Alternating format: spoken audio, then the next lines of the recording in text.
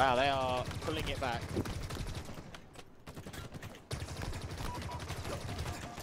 This thing is painless.